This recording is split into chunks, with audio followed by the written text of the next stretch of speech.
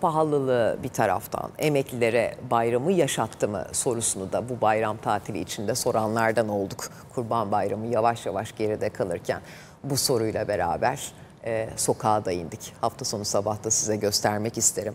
Kurban kesemeyenlerimiz var, tatile çıkamayanlarımız var.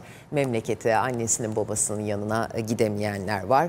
E kaldın birazcık böyle keyfime bakayım en azından istediğimi yiyeyim, içeyim, açayım e, televizyonu bir şeyler buluruz izleyecek dolabı dolduralım desen alışverişten de umduğunu bulamayanlar çoktu.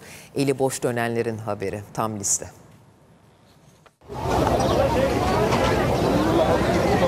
Mısır çarşısına geldik. Hiçbir şey alınmıyor. Hiçbir şeyin yanına varılmıyor. Kurban Bayramı geride kaldı. Bayram öncesinde ihtiyaçlarını karşılayamayan emekli sonrasında da çarşıdan eli boş döndü. Ne bir lokanta ne su bile alamıyoruz. Su. 10 TL olmuş bir su. Ne yapabiliriz ki?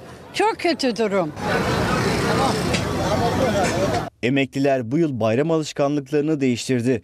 Geçmiş bayramlarda kurban kesenler bu yıl hayvan pazarlarına uğramadı bile. Alışverişe çıkabilenler bütçeyi daralttı. Çıkamayanlar eldekiyle yetindi. Bayram ertesi bir umut şansını deneyenlerin ise yine yüzü gülmedi. Hiçbir şey almadık. Aşırı pahalı. İstanbul Mısır Çarşısı'nda durum böyleydi. Sinop'ta ise emekliler verilen 3000 liralık bayram ikramiyesine dalga geçiyorlar diyerek tepki gösterdi. Zaten bayramla birlikte para bitti.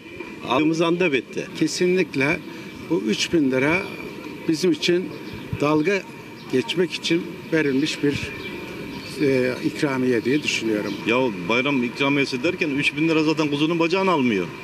Efendime söyleyeyim. Aha, bak kasaba girdik şimdi. iki tane şu kadar köfte 1300 lira. Ya ne diyeyim 3000 lira para mı ya?